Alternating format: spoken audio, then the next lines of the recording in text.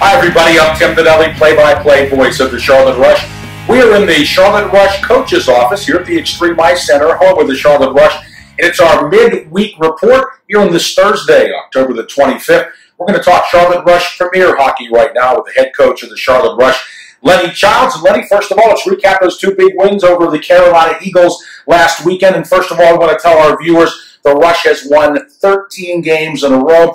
They are now 13 and 2 on the season just in second place right now, just below uh, first place. But let's talk about Saturday's game, Lenny, first against Carolina. Uh, you had a big uh, 5 to 2 win, and that hotline, they are just unstoppable right now. They scored four of your five goals. Uh, that, of course, Antonio Demacopoulos, uh, Billy Barry, and Matthew Yon. Got a goal from Gino DeBlasis and a solid effort from Nick D'Antonio. Talk about the highlights of that game, Lenny. Yeah, you know, really uh, came, came out actually a little bit slow uh, Mm. in that game. Um, but the, the guys battled back and really showed some resiliency throughout. And obviously, you know, those guys are, are known to put the puck in the net. And, and they, uh, they worked hard. They worked hard to get, Mm. be able to make those plays. And uh, actually, our defense was, was really good. I was really happy with our defensive Mm. corps that game. Uh, so our forwards kind of left them out to dry a few times. And, and they were able to take care of it with, with D'Antonio back there. So, uh, a decent game again. Started off really slow. Happy with how we finished. Um, not, not a typical game for us though. Hmm, okay.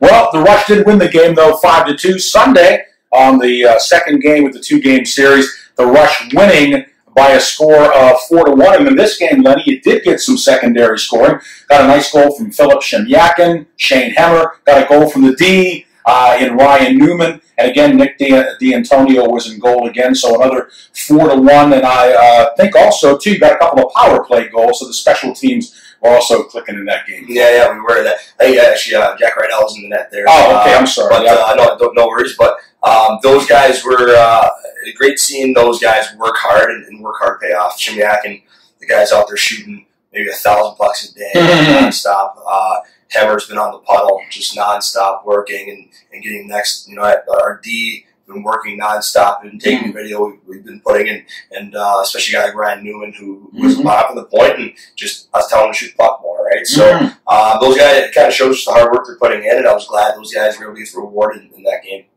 So again, a sweep by the Charlotte Rush this past weekend over the Carolina Eagles. It's our in-state rival. It's always uh, a big battle with those two guys, but the Rush able to prevail, uh, winning the two games in Carolina. And again, my apologies. It was Jack Rydell in goal for the Rush in that game on Sunday. Well, again, the Rush now with a record of 13 and two. Lenny, we're in second place right now. And again, uh, you're keeping an eye on the standings, and it's still kind of early yet as uh, that uh, November showdown with the Hampton Roads Whalers here at the Extreme Ice Center looming. But we have still four more big games before that, right?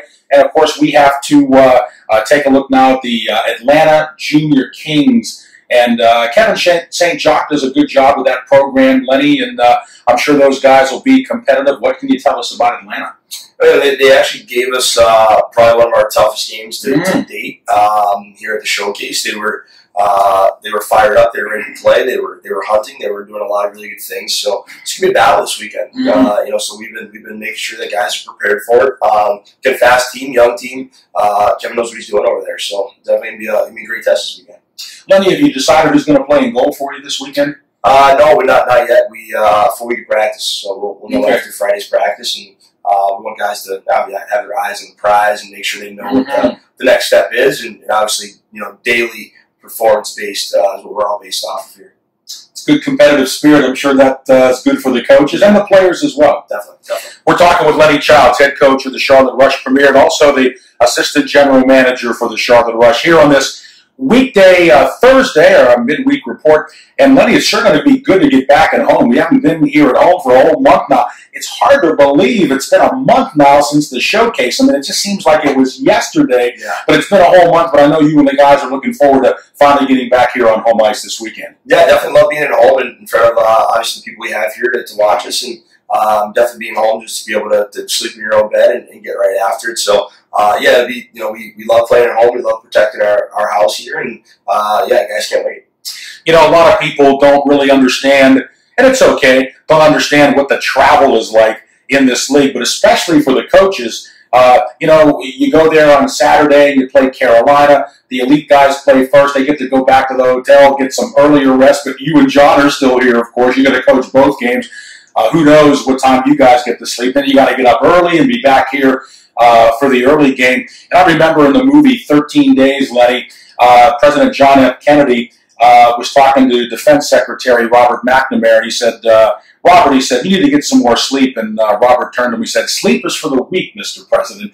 But I can understand you guys probably don't get much sleep on these road trips, especially you and John. Yeah, no, it's uh, you know, that's, that's part of it, and, that, and that's uh, that's actually the fun part is being mm-hmm. able to be prepared for the week, so that your weekends, you're, there's less of the preparing that you do, mm-hmm. which already kind of done, right? So, okay. uh, no, for us, it's uh, you know, it's fun to see that guys want to stay and support the other teams too, right? So they don't want to even sometimes mm. they go back. Ah, okay. okay. Uh, but yeah, for us, it's like that's why we're here. We, we, we love it. We love uh, we love seeing how where we are from week to week and and uh, from game to game. So we uh, no complaints here. It's, uh, fun part. All right, good. Just thought I'd let our uh, viewers know what it's like, and it's not always easy, but uh, these guys enjoy it so much it really doesn't bother them when they don't get a lot of sleep on these road trips. One last uh, question and comment I want to get from Lenny.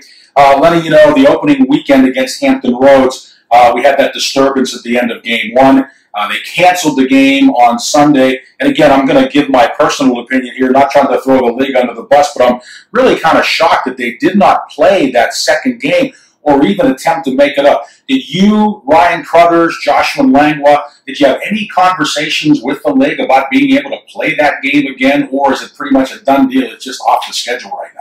You know, not yet. We, uh, you know, there's there's obviously quite quite a few games left in a lot of months, so um, you know, probably not out of the question if they'd let us, you know, mm-hmm. things up blow over. Team, both, both teams are doing really well. Mm-hmm. There's been no shakeup whatsoever. So um, hopefully, hopefully the league says that we can we can play again. We'd love to play again. Uh, obviously, get that extra game in there. So uh, in, in, due time, in due time, obviously, we want to take care of the next the next five steps that we have here, and then maybe we'll go back and see what we can do for that. All right, well, good. That's good to know. It's not a total done deal right now. And again, not trying to be critical of the league, but uh, I think it would really do them well to be able to have that game uh, get played. You know, Lenny, especially for the guys that want to play a game. These guys love to play, and now they're denying them a game, and especially for the guys that weren't even involved in that. You know. Yeah, exactly. Go from 44 games to 43 is uh, might not see that that big of a deal, but it is. Like mm-hmm. right now, we're backs number 31. You know, and, and that. Uh, that, that's starting to creep into you know the, the middle of the year right now. So uh, having that extra game is just one more thing that we can look forward to, and obviously for our guys to go compete.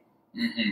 Well, let's hope for the best on that one, and we'll t- touch base with Lenny later on in the season and see if maybe uh, the league will change its mind on that. Lenny, these are the best of times right now for the Charlotte Russia team. is playing great. Uh, congrats for the two big wins against Carolina, and looking forward to hopefully a couple of more wins this week against the Atlanta Junior Kings. I hope so. Thanks. All right, thank you, Lenny. That's Lenny Childs, head coach of the Charlotte Rush Premier, also the assistant general manager of the Rush. Well, again, uh, please visit our Charlotte Rush YouTube site, also our social media platforms of Facebook, Twitter, and Instagram. A lot of photos, videos, and information about the Rush. And of course, you can always go to our Charlotte Rush website as well to get complete information on the Charlotte Rush. Well, thanks to our cameraman, Anthony Pagnotta from the Carolina School of Broadcasting for uh, running the camera for us today. And again, uh, I'm Tim Donnelly. Thanks so much for watching, and we'll see you next time.